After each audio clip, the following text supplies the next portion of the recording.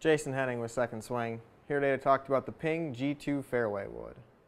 The G2 fairway wood has a precision milled variable thickness face with internal weighting pads to help optimize performance. The G2 fairway wood is offered in green, black, and orange color codes to help prevent hooks and slices. Check us out online at secondswing.com or stop into one of our store locations today.